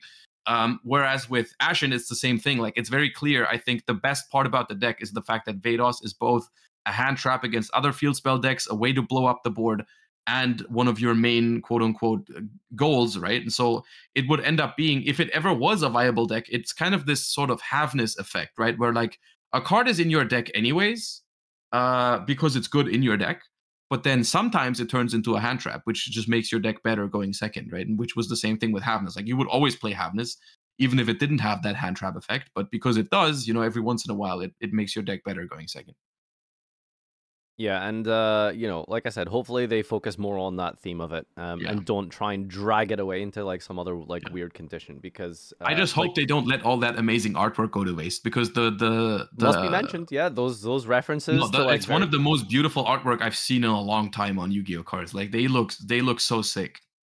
without uh you know copyright infringing too hard you know i think very clearly we saw so many references to things like uh souls games and yeah, it's re- it's really cool. those games are appreciated and loved for some of those reasons so Yeah. yeah, uh ashen a deck put a pin on it um this deck is probably probably i'll do a prediction i think it's going to be good um i think there is enough there currently uh for it Okay. to um to have something I'm going just done in the with these future. predictions, man. On the TCG exclusives, it's it feels so it feels so 50-50. It's so arbitrary. They they decide if they want it to be broken or like or not, and we'll see. But You know, the the uh, the the interesting thing is like sometimes when you look at like some of these uh, TCG exclusives, right? Like you can tell from like Wave One that if they just give us, because usually what there is, right? Like they usually the telltale sign is they all have like some um some effect that's part of their card that uh, transfers to all the whole archetype, right? Like I think one of the main Mhm. reasons why Burning Abyss was like so good was because they all had that special summon effect, right? Regardless of how good the second wave and the third wave was going to be, it was like even if they if they maintained that theme, and even if the the graveyard effects of the wave two or wave three were not that good, it was still Okay. going to be part of that win condition of swarming and making uh, multiple Dantes, et cetera, et cetera, right? Same with the Yeah. dangers. Dangers were um, really, really good. First wave, notoriously, you know, Mm-hmm. Jackalope, um, Bigfoot, I think was part of it. I think like I mean, Jackalope, had Nessie, Nessie, right? Jackalope, Bigfoot. Um, they had and then they gave us, I think, I want to say Tsuchinoko was wave two. Um, uh, but then, like, I the- don't think so. I think the first wave was all the broken ones, and then they never made good ones.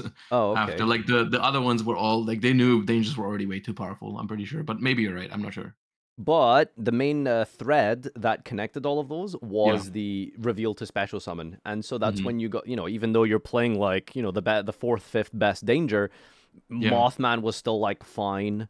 Um, you know, oh yeah, Chupacabra was wave one, Such was wave two. Oh, yeah, Such was- okay, a- yeah, okay, yeah, So you're right. you know, it's a case of like if they just keep making more of the same thing and then Mhm. continue it on, I think we'll definitely be seeing something special. it's definitely we'll a see. good quality for an archetype to have like a cohesive strategy or effect that is shared between all of them yeah Yep. Uh, all right. Uh, shall we talk about? Um, do you want to mention the Yubel goatee stuff at all, or? uh goatee I mean, yeah, I want to mention it. Goatee is like I think something that needs experimentation, which I haven't done yet, but I definitely see that those cards are good. And if like if you're a fan of Goatee, those are probably some of what you was what you were hoping for for those kind of cards, right? Because Goatee once again started out as a, as a very mediocre um, TCG archetype, and the the one thing that can save those archetypes is usually um, when they ever get to the OCG and they make new support for them. And this is that support.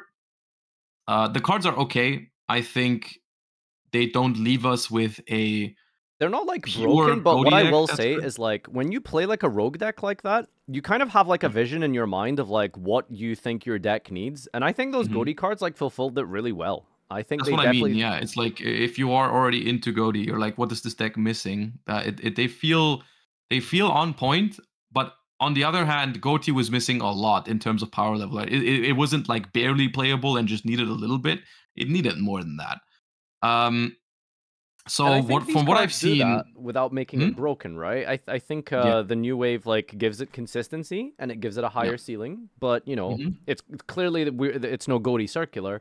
Uh, yeah. But at the same time, like I think it gives it enough to make it certainly a, a good rogue deck. I think. I, I, I would agree with that. I've seen people experiment with different versions. You know, I've seen people throw out like runic goatee, um, which you know all love to the runic enjoyers. and who are so... these people, Josh? You? Who's no, putting not me. It's everyone. Everyone. Everyone. talking about. It's the talk of the town. Haven't you heard? yeah, everyone's just throwing these runic cards everywhere. That's crazy. this is a side point. You know, I'm gonna be playing uh, runics at my uh, regional this weekend. Oh, now you backpedal. Okay. Yeah, yeah, yeah. those cards All are right. pretty good. Instant fusion on utility. Oh. But anyway, yeah. So uh, the Goatee stuff is uh, has potential. I think it, has got potential. It's it's one of those things where what I said earlier of like it's going to be overshadowed by you know fire format. It's really hard to keep up with the fire decks. Um, but eventually, you know, if uh, if the fire decks get hit on a ban list, uh, you know, you you might want to revisit that idea, and and maybe it has a niche in in formats in the future, right? Uh, Yubel, on the other hand, I thought was pretty cool when I read them for the first time. The new Yubel support cards. Uh, at the same time, I don't think they are strong enough, even though they are good legacy support for for a deck from I don't know, like 15 years ago or more. Uh, I have a hard time to, imagining uh, it. Shout outs to Vlad. Anytime uh, he looks at a deck, he somehow manages to like make it somewhat playable. Like I'm always suspicious of any deck that he looks at because uh, he took a look at Makanko and then we saw that ridiculous Makanko deck suddenly become good.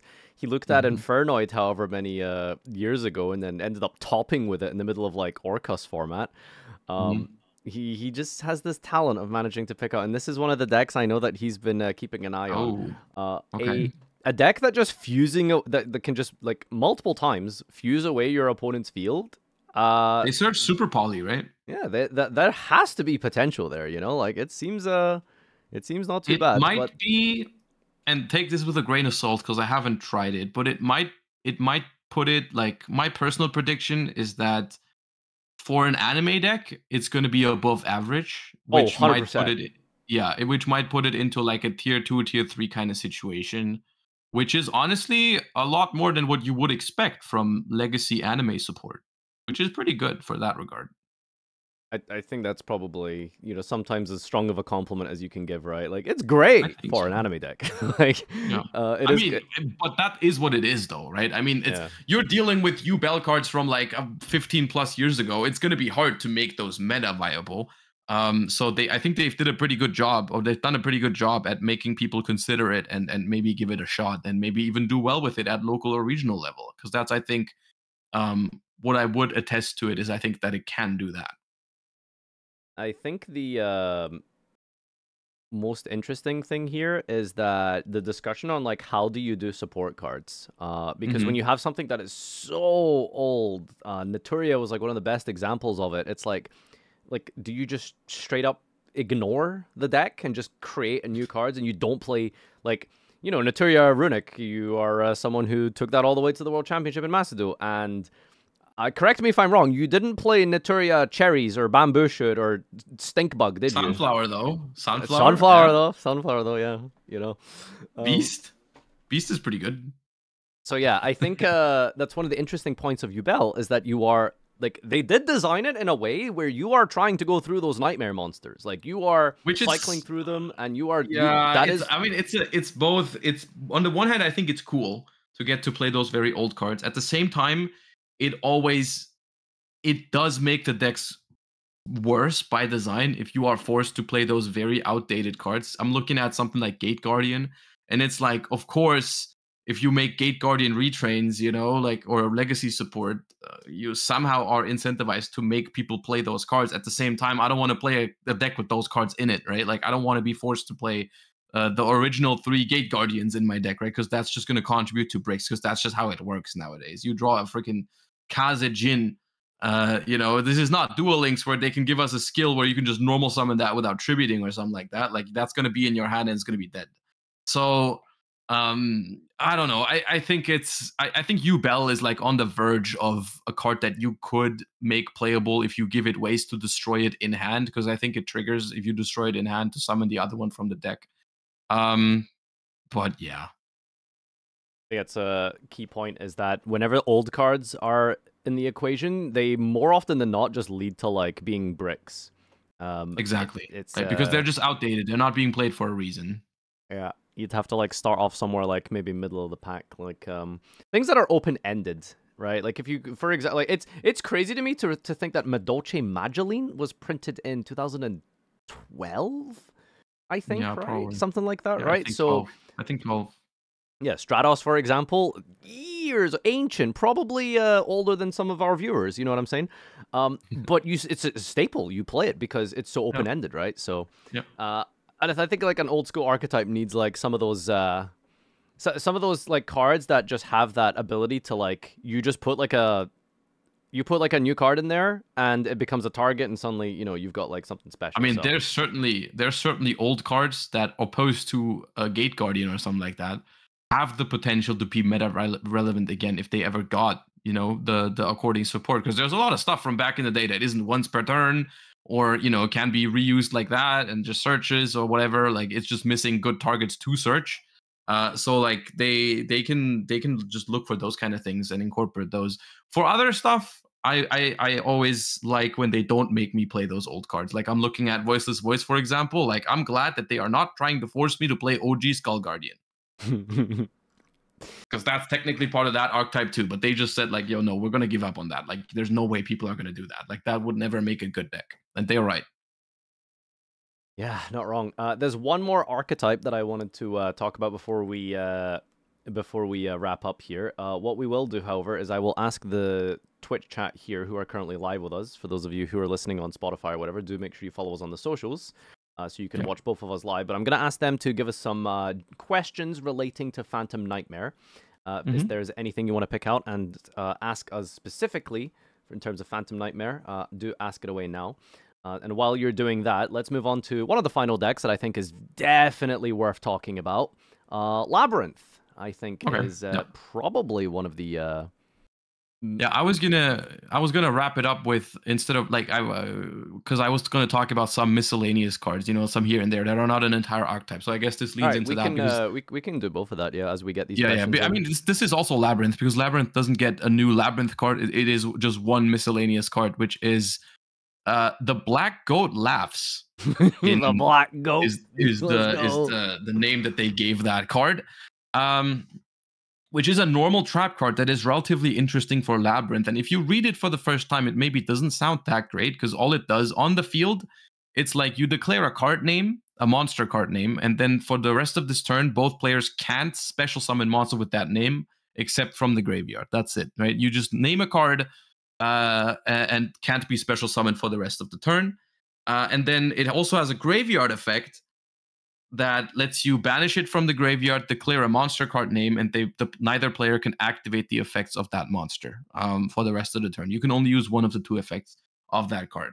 Obviously, the reason why that card is really good in Labyrinth is because it both has a very powerful field effect. Because if you really think about it, that effect is more impactful than you would think.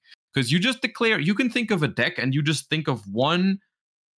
You can all you can think of one name that you can call against the deck and it, it's just it just almost completely shuts it off like you can call snake eyes ash against snake eye or uh, you can even call Diabellstar after they use Wanted. You can call whatever. You can call extra deck monsters with it too. Like you can call uh, whichever extra deck monster you think is most vital to your opponent. You call Purrely against the Purrely deck, they can they can't do anything.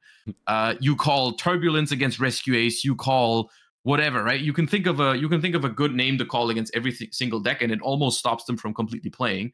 Uh, on top of that, it has a very unique quality for Labyrinth, which is a good graveyard effect, which means it's just the perfect discard for furniture. That's just that the the the uh, that is worth a lot for that deck. Yeah, so this is the uh, direction that we're taking, I think, with uh, the quote unquote power creep of the game. Is like trap cards um, inherently are just not going to be very good um, on Yeah. the field, right?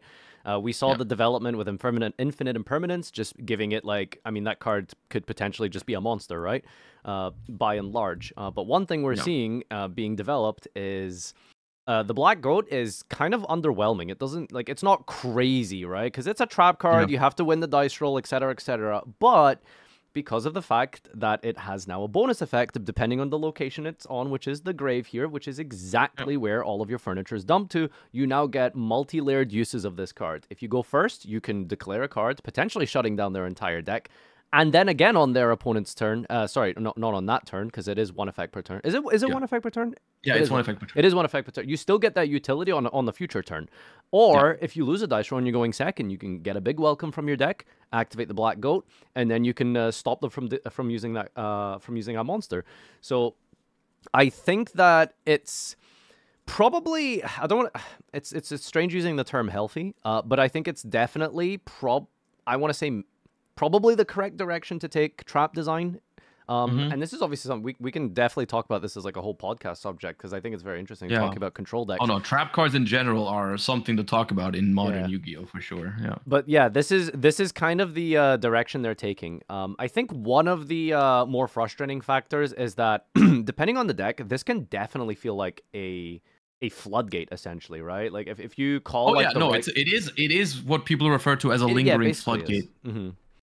Mhm. And uh, while it is, I mean, it's I, I wouldn't call it as impactful as something or as toxic as something like a D barrier because in, as opposed to thing, shutting though. off, It depends, right? It just depends on it the depends on the right? deck. It, Yeah. it depends on the deck, but like for the most part, like for example, you're thinking like, okay, your opponent activates a runic quick play spell and you call Hugin, right? That's huge. That's impactful. They can't summon Hugin for the rest of the turn, but they still get to summon something, right? If you compare that to flipping a D barrier against runic or flipping a D barrier against branded, right? Like it, it doesn't quite compare. Like there's for most decks, there's going to be ways around it. And if your deck doesn't have ways around it, uh, your deck was probably too weak in the to begin with, right? Because at that point, it, you're basically saying, "Hey, my my my deck has this one choke point.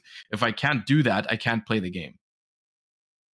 Yep, exactly. Um, and you know, maybe one day in the future, an archetype of just you know Harpie Ladies, where every card has the same name or something. Like if you declare it, it just you just shuts black it down. out. I don't think that Harpie works though, actually, because I think it's original name, right? Um, yeah, original name. Never mind. So I don't think that would actually work. Uh, but yeah, um, a deck that has like one specific monster as part of its uh, choke point. I think this card is like. Yeah, I mean, yeah, no, the, the those examples that I just said are very valid because the card Yeah. has multiple purposes. Like it, it can act as sort of a hand trap if you draw furniture. Like you go, your opponent goes to summon turbulence, and you just pitch the black goat for a furniture, call turbulence. They can't activate it for the rest of the turn. That's the choke point, the major choke point of the deck, and you can't dodge that. That's another thing. Like you can't like make an SP to to play around an imperm you can't uh set up uh whatever right like uh you you can't do anything to it like you if if you're playing rescue ace and your opponent discards that you're not resolving turbulence you can't you can't do it there's no at least that i'm aware of there's no way to to kind of outplay this card and and pre- and prevent it from stopping you from doing that So labyrinth, I think, uh, good summary by the way. Um, Yeah. yeah. So I, I think uh, labyrinth is uh, definitely uh, one of the like actual budget options, right? Like I don't think this deck is. oh i don't know about that What's i big, don't know about that What's big welcome at these days? Like fifteen? Uh, that that thing is. I don't think that's cheap, and especially if you're looking at an extravagance version with uh, multiple Chaos Angels and SPs and stuff. I Hmm. Hmm. Chaos I Angel. I'm looking up Big Welcome right now, but I don't think uh, we're looking at a budget deck. So Big Welcome is Big Oh, Welcome is like bucks each? Fifteen. Three IP. Okay, listen. Okay, guys, there's a big difference between optimizing and making a budget. okay, right? I mean, Like, yeah, okay. If you're playing, Right. if you're not playing extravagance, sure. Uh, let's say you need on, you still need like one SP, one Chaos Angel, most likely. You need Typhon, uh, like uh, even in the Prosperity version, right? And then it's, I, I mean, it's yeah. Compared to Fire, you're probably right. uh, In the grand scheme of things, I don't, thi- I wouldn't consider it a cheap deck. Yeah, I mean, like realistically, I uh, so so just to preface, I think like in general, this is an expensive format, right? Like regardless Oh of yes, what kind of uh, hundred percent. what no- and rollback also, by the way, is expensive. Oh yeah, okay, yeah, that's a that's an important part. So I think like irrespective of what deck you're like, because usually like sometimes format to format, there'll be like an absolute like dirt cheap deck, like pennies. Um, and I don't know if this Yeah. format really has. I mean, technically any deck like you could play right now, you know, it's just never gonna be cont- uh, you know contendable. Um, I think it's going to be shifter decks if you're talking like penny flew decks. under right, like yeah. I think that's the kind of the situation that we're in. Is Yeah. like if you're actually looking for the cheapest, uh, I Mhm. think there's two options, quote unquote, that three, I guess. Uh, you have shifter decks. You have some runic variations, and ironically, they're not going to be great against um, fire decks, but they're okay. If you go first with the runic deck, you can definitely beat uh, the fire decks. Uh, and maybe with the right board breakers going second. I don't know. I haven't tried it yet, but that is looking to be relatively cheap. And then the last thing you have would be what was I thinking? Branded maybe uh, isn't the most expensive at the moment. Uh, plants are uh, kind of on the radar, I think, recently. Um, with the uh, some of the new aroma cards. Uh, Yeah. did they did they get that tour guide card in this set? They did get the aroma support. Don't ask me exactly what they do because I don't want to talk about it.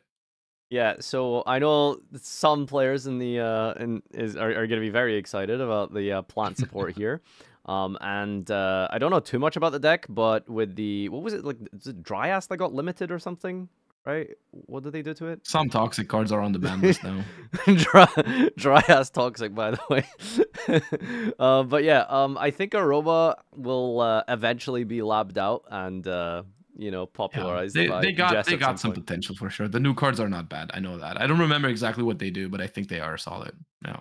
Yeah, I think they have like a tour guide style card, which is like very strong. Um, I think, uh, correct me if I'm wrong, but they might be going into a more uh, aroma engine, right, rather than like They, you uh, know, the from what I've seen, uh, from what I've seen, long story short, they can still make the same stuff happen as before, but they just need to play a couple more engine requirements in the deck because they go through some of the Aromage cards and stuff like that. Like, uh, don't don't exactly quote me on the combo lines, but that's what I've seen and heard is that you can you can do the same stuff as before. You just need a couple more. Uh, you know, extra steps that require some more bricks in the deck, but I mean that has never stopped anyone from touching that deck, right? So And it's never going to stop anyone from reading it either. so we'll have to see what happens at the next EU event specifically. Yeah, that's doomed. All right, before we before we wrap this up, I want to I guess give a couple honorable mentions to a couple of one of miscellaneous cards that I think are solid. You got uh, and give my opinion or our opinion on them. There's the new level 2 Spright support EMP Meow Oh, Mine, which is a solid card, I think. Yeah, that's uh, Uh, it's cool. It's it, it ain't gonna replace uh, no Spright elf, I'll tell you that much. But it's got some pretty good synergy with SP Little Knight, and so it gives Spright endboards a little bit more oomph. You know, it's something you can it, you can use it as an extender from hand, uh, but you can also send it for Sprind, and it's got some some utility in the graveyard. So I'm a fan of that card. Um, even though I, I doubt it's going to make it good enough to compete at the top level, but I am a fan of the card regardless. Uh, another card that I personally like a lot is Mutamorphosis. Uh, the- basically, it's like reverse metamorphosis, right? It tributes Backwards a, metamorphosis. it tributes an extra deck card to someone one of the same level from the main deck. It's a fusion or synchro specifically that you need to tribute, and you summon any monster from the same deck with the same from the from the from your deck with the same level. Uh, and it's not negated, so it's a very generic card that has a lot of potential. I feel like for the future. Obviously, the first thing that comes to my mind is the fact that uh, you know one of the decks that summons fusion monsters the easiest is Runic, so you can like use it in all sorts of Runic decks to tutor out whichever level you want. You know, things that come yeah. to mind is like if you play like Runic Spright, maybe with for hire, like that card, you can get whatever missing piece, right? You miss your you don't you you don't have Rex in your hand, you can get it by tributing Hugin. You don't have access to the Spright cards, you can get that, right? And so like a card that while relatively cheap at the moment and probably not going to be played in the near future has a lot of potential i think at some point like it's definitely a good card I like to call uh, these decks. I like to refer to them as database decks, right? Like it's whoever is uh, going to be putting in the homework to really I mean, maximize yeah, I mean, the potential. This card, this card tutors like any level two, level three, level four, level five, or level nine are yeah. the levels we have for Runics, right? And so like there has to be something you can do, so, right? So, Runics are already a solid engine. Uh, and this is going to make whatever you are trying to tutor more consistent. Does it, so does there, it e-tail it? Like, or does it like remove it at the end of the turn or anything like that? Or it would be returned to the hand during the end phase. Right. Okay. Because like one thing I was like skeptical skeptical about was like usually you know these kind of nonsense cards they they generally they would just take advantage of something printed 15 years ago, right? Like you would mm-hmm. just tutor out like an Eret Test Newman or something like that. But it does have the okay. Uh... You, you can't set up a floodgate like that. Funnily enough, in the OCG you can like tribute Hugin, and if you get Maxied, you can like bounce your own Maxi. Funny funny stuff you can do. That's that's hilarious. Wow, that is so funny. Yep. Count, counter see them. okay, yeah. So database cards like that, um, maybe we'll see someone break it, uh, and mm-hmm. really take advantage of the uh, targets there. You know, things like Small World. Uh, these are these are the kind of cards where uh, I think that's really gonna lend itself well to uh, mm-hmm. uh, to some real homework in the database there. And I mean, I yeah. think like probably as you mentioned, like Runick just has to be the best deck for that kind of card, right? it's right? Definitely the easiest at the moment. Like it's definitely the one where I don't want to put this card into my deck and then have to hope that I can summon a fusion or synchro because that in most decks requires multiple cards. Right. The the only deck that I can think of that just spams out fusions like no problem and is always going to be able to make that card live is Runick. Mm. All right. All right. Um, other other notable mentions. Uh, Horus gets more consistent because they get an, a field spell that can search Imsety. Oh, is the field spell in here as well? What's the, uh, the, is the main deck guy good? Is he played now? The main deck guy is not that good. No. Uh, sometimes they can they you can play one, but the, that's the, the the weak point about the support is that the new Horus monster is not actually that great. I think the biggest deal is the field spell because the biggest issue with Horus was always what do you do if you don't have Sarcophagus or Imsety? And the field spell allows you, first of all, it counts as King Sarcophagus while it's face up. Um, and also it lets you during your main phase add a Horus monster from deck to hand, and then you have to place a card from your hand to the bottom of your deck. But uh, it just means you can search Imsety, and that's huge.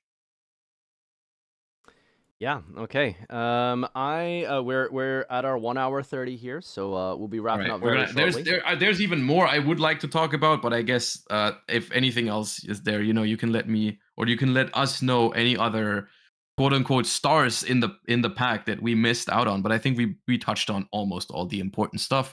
Um, if there's anything else you guys are excited about, make sure to you know let us know. Yeah, we're definitely going to be having some uh, some um, discussions that are more evergreen, uh, which might be what happens next week. Uh, although I think we could potentially do like a Phantom Nightmare Part Two, uh, going over like the weekends, um, you know, uh, happenings. We'll probably only really have regionals and stuff. Most notably, I'll have my regional this weekend, so I'll report back. Uh, next Ooh, what episode. are you gonna play? Oh, Runick. You said you said Runick. Yeah, right? I'm playing Runick Raid Raptor. Raidraptor. Yes, it is oh, a. Uh, Wait, is that support in Phantom Nightmare? Yeah, it's got the uh, the new quick play uh, rank up card, which is okay. Like... So we've done we've done like an hour and a thirty minutes podcast on the new set, and you haven't mentioned a single time the deck that you're going to play the week after. I just don't think it's very good, but like okay. it's uh it's it's very fun. Uh Raidraptor, uh I'm not gonna be talking about it too much in case someone listening at my regional uh you know no I'm kidding. Oh um, okay, that's oh all right. Yeah, no, no, we're no, hiding information. No, no, right, don't, don't, worry. It's uh, so basically the way the deck works, uh the reason um shout outs to Yassine because he was the one who like I think has been popularizing this. Um it's basically all the Runick cards are full utility, uh and any generic two level fours on the field is full combo. Um so Raider's Knight up into Brave Strix, uh, and the way the new support works is uh, you have uh, Brave Strix, the new rank five. It just searches literally any, basically any Raidraptor spell or trap from the deck, um, and then you're also um, putting all of your power onto this uh, new boss monster, Rising Rebellion Falcon. It is an unaffected monster that burns and destroys all cards your opponent controls. It's absolutely crazy. Uh, and the way you get this out is by tutoring the Quick Play spell, the Quick Play rank up, which is essentially a synchro of Xyz monsters. You you you use all of the monsters in your graveyard or banish or field, and you combine a level four plus a four plus a five to make thirteen that makes Rising Rebellion Fal- Falcon, which destroys all cards your opponent controls and uh, burns them and is unaffected. Um, and you end on two of them. So that's uh, that's what I'm playing. What is yapping right now? I am indeed yapping. I'm very excited. I can't wait. Long story um, short, birds are always bad for Yu-Gi-Oh. Yeah, uh, there was a new card in Phantom Nightmare uh, related to Wing Beast Enjoyers. The uh, I, forgot the name, but it's the quick. Oh, it's the quick play that lets you dodge Valor Flu. Yeah. Yeah, you could also tribute from your hand as well, which is like kind of random. Um, but that just gives it even more uh searchability because like you could just get rid of like a brick out of your hand or something and then just get. Yeah, there's a lot of stuff in this set. It's a really cool set. I think I like it, even though I think from the vendor's perspective, it's not going to be that crazy because most of the secret rares aren't that expensive, which is good for the community though. Um, and some of it is overshadowed by um fire, obviously. Um, but I, I I think it's a very exciting set overall still. Yeah. Uh, what I will say is Phantom Nightmare doesn't feel like the biggest game changing set ever if it wasn't specifically just for like one. I mean, like, okay, I was about to say, yeah, okay. Like there's like the Poplar and the Princess go without saying. Um, yeah. You know, and I think that's huge in and of itself. But when you're considering like two out of like a hundred cards, um, yeah, like the relative like power of just like, you know, the set um, is obviously kind of skewed in favor of like these two cards boosting it significantly. Mm-hmm but the average of the set is like it's good. Like there's a lot of like neat, cool uh, things. In in on. some ways, even though I am a fan of the Snake Eye deck and I am looking forward of, to the format, I think it's going to be it's, it's going to be a good format. Uh, in some ways, it would be more exciting if we didn't have that because there's a lot of stuff in there that would be exciting to be experiment with. Uh, if it wasn't for you know, obviously everything is going to be worse than the Fire deck probably, right? Which is kind of like a uh, a, a damper in that regard, right? Mm-hmm. Yep, exactly. Um, I was trying to pick out some questions from the Twitch chat just to round off here. All right. Uh, I didn't get too many. Um, there was someone who asked, uh, "What do we think about Mannadium going into Phantom Nightmare?" I think we touched a lot on the uh, hand trap and the metagame lineup of the yep. defensive cards that people will be running, and I think the problem with Mannadium is that it's going to be caught in the crossfire of a lot of shifter yeah. decks trying to beat Snake Eye, um, and shifter being very, very uh, strong against Snake Eye is naturally going to hurt Mannadium. Uh, and I think at least in the early part of the format, I do envision a lot of people trying to play Droll, which is yeah, no, absolutely. Uh, it's it's both Droll and Nibiru are going to be decently popular because Nibiru actually has some value against Snake Eye, depending on how well they play around it, or if you're able to pair it with a different hand trap. But in general, uh, there's a couple there. The problem is that Mannadium isn't really great against both of the approaches that people could be taking against Snake Eyes. It's either people are going to overload on hand traps, which is not going to be good for you, or another card that's very popular is Super Polymerization, which depending on which targets they run can completely mess up Mannadium as well. Like that's one of the few cards with the right extra deck you can just uh, you can just plow through a Mannadium board. And I just don't think Mannadium is going to have a great time. You know, it's not particularly good going second, not particularly good going first if everyone plays a decent amount of hand traps or super polys.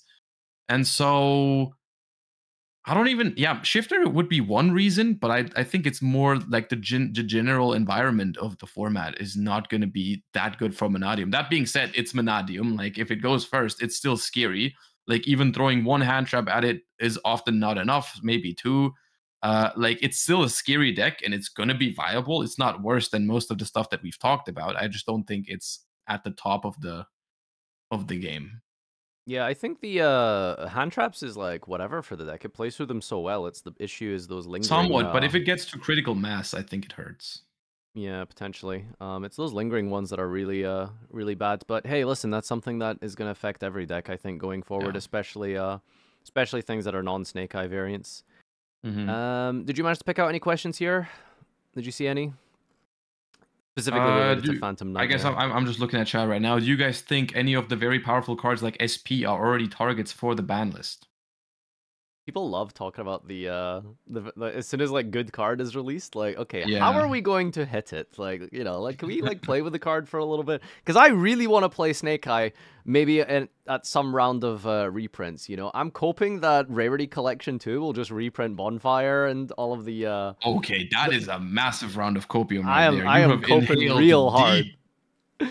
Uh, so you know, Uh, I, I think I think it would be very I, like the thing about SP Little Knight is that with those kind of cards, uh, there's only one way to hit them if you wanted to have any impact, and that would be to ban it. Like there's no way limiting that card would ever do something.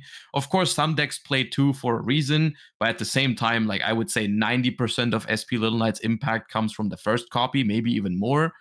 Um, if they ever wanted to get rid of that card, they would have to ban it. And I think at this point in time, I just don't see that happening. Uh, and I also wouldn't want it to happen because even though SP Little Knight is incredibly powerful, I've been enjoying a lot of the gameplay that it creates because it's not powerful because it's like omni negating everything or immediately winning the game on the spot. It's a very interactive card. So yeah, it's very powerful, but it creates uh, a lot of cool interactions. And then, and on top of that, I think banning a card that people have spent at this point in time a hundred bucks per copy so early would just not be I, I just don't think it would be smart because people would definitely not enjoy that let's say it like that the uh, extra deck podcast, I think, definitely has to come at some point. Oh, Um, yeah, no, we're for a- sure gonna other- go over that in depth at some point. But um, Yeah. I think one of the um, my I, I've always looked at it this way. I think that anything that makes going second better is kind of free reign for me. Like I thought Zeus was Mm-hmm. one of the best iter- uh, things they could have uh, added to the extra deck. Uh, Oh, yeah. I love, Typhon I love Typhon even more yeah, Typhon um was weird. Typhon hasn't been as good as I thought it would be. It's definitely strong and I think you will be playing it. Um I just yeah you know, it's it's definitely like no Zeus, right? Um so I I really Yeah. think like go sec anything that helps like go second is always strong and SP Little Knight kind of like bridges the gap between both, right? I think it's really good, you know, going first Yeah. and second. Uh, so that, Yeah. that's why I really like it.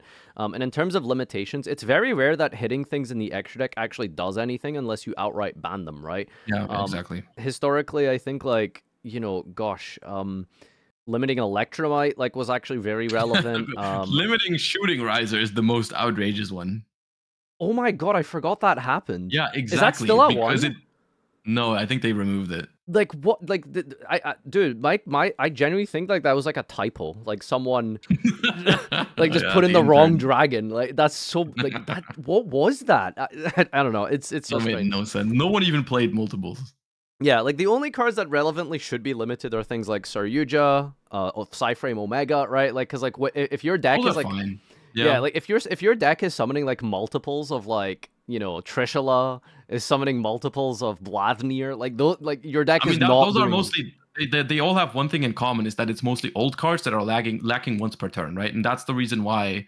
nowadays modern extra deck cards, if you want to get rid of them, you'd have to ban them because most of them are once per turn anyways. So like Mhm. you're not gonna need multiples most of the time.